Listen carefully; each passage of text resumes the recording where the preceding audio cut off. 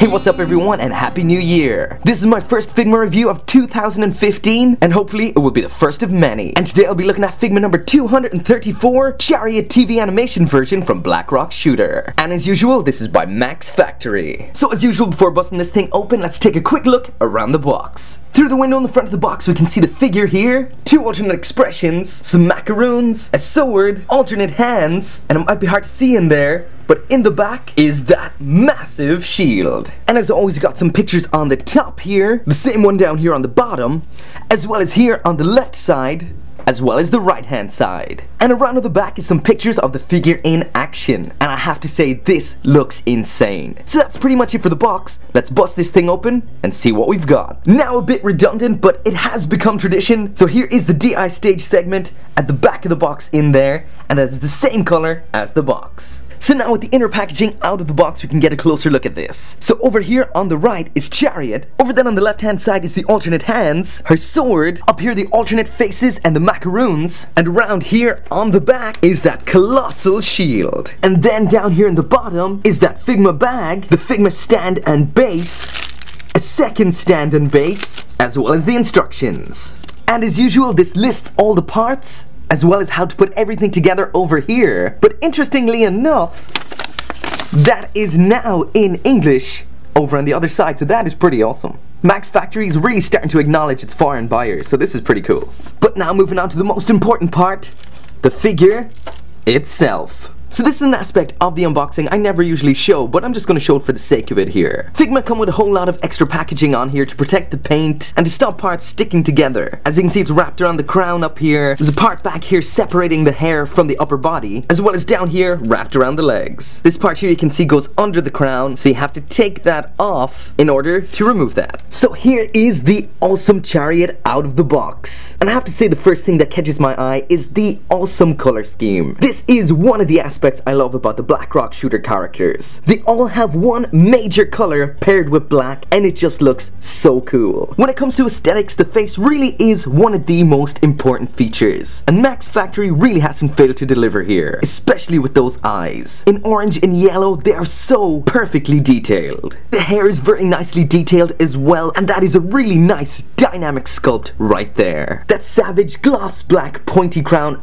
really tops that off. Moving down to the dress and the upper white section has some nice ruffles and button details there. Moving down to the lower part there and there's a nice metallic silver zipper and moving down from that we've got some nice black over white layering with some yellow on the underside. Onto the arms and matte black here with some nice yellow pinstriping running down the arms and those cuffs have been awesomely sculpted as well. Those demonic hands are back again here and I have to say I absolutely love these. These look absolutely savage. And the sculpt and detailing here is killer. And finally down here we have Chariot's very, very unique legs. Looking like a set of knight's greaves with wheels for the feet. This is such a cool concept. Standing out against the matte black of the dress, what we've got down here is a gloss black. The rivets on the armor are in a gold, which also contrasts against the yellow used on the sleeves and the buttons on the cuffs. And really serves to show that this is metallic armor and the shirt is cloth. I don't actually know what these things down here are called. I know they're on the wheels of chariots, but I don't know exactly what these are called. But again, these look amazing in metallic gold. And so do those epic looking wheels. And in case you're wondering, yes,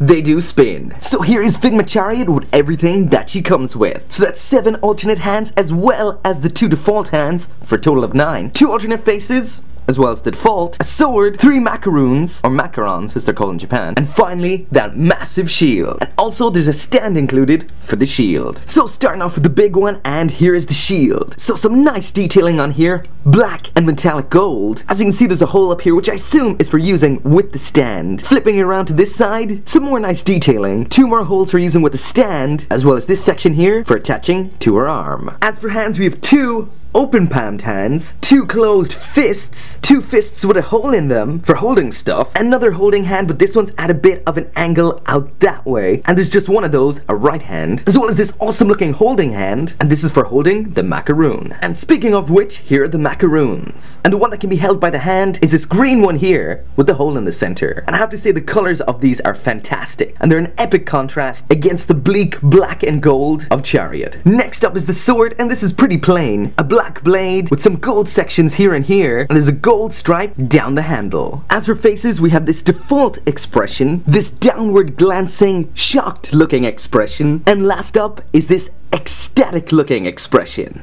Now moving on to the articulation, and as always starting from the head down. So there is the head to the front, and to the back, so a little bit of motion there. Rotation at the neck side to side, so not a whole lot of movement due to that hair back there. And there's a little bit of a side to side tilt there as well. There are some points of articulation in the hair here, so they can move up and down at that point there. There's a little bit of rotation as well at this point. Articulation at the shoulder, and there is the arm all the way up, so that can move up pretty high. That can also rotate here all the way around as usual. The bend here at the elbow, and that's a pretty decent bend, and a pretty decent amount of articulation here at the wrist, considering this cuff here does block the majority of that. As the dress here is made out of a soft material, there's quite a bit of side-to-side -side motion here at the torso. And as you can see back here, there is a bit of a split at the joint there, so you get a lot of forward and back motion. There's the kick, all the way up to the front and a decent amount of movement there as well and also a pretty decent amount of movement here at the back thanks to that soft material that's used on the dress. Here is the lateral movement of the leg and that is as far up as this can go and this is restricted by the joint itself not by the dress. Some rotation here at this point, quite a disappointing bend at the knee here. I expected a little bit more out of this, especially because here on the box the knee is bent well past that point. So to get it like this, you may have to pull the joint out and stick it back in again after you bend it. And that's something I'm not really in a rush to do. And finally, we have another joint down here as what you could refer to as the ankle. So we've got some rotation that can go all the way around, as well as a bend here at this joint. And that's quite the amount of movement. So that's it for the articulation, and for the most part, it is awesome, but is let down quite a bit by the knees. So now moving on to the quality, and for the most part, as usual, everything here is perfect. As always, Max Factory has absolutely nailed the paint job here. Also matte paint used on the white and black of the dress, as well as on the hair and face. Then we've gloss on those awesome hands, that epic crown, as well as on the armored parts of the legs. As well as matte and gloss paint, we also have metallic on these spikes, the wheels, and the zipper. As for the joint strength, they're all good and strong and you'll have no problem keeping this in any pose that you want. And if you're worried about it holding the shield, the shield does have a dedicated stand, so that shouldn't be a problem. So like I mentioned in articulation, the dress is made out of soft material. And it's pretty cool that they did add a different color under here on the inside of the upper layer. But because that is made out of soft material, that won't get in the way of the articulation. So are there any negative aspects? Well, there is a couple, but there's no deal breakers. As for the crown up here, I would be very careful with the way you take this on and off as as you can see right here, it is prone to paint transfer. The black paint from the crown has transferred to the hair around here. It is also transferred quite heavily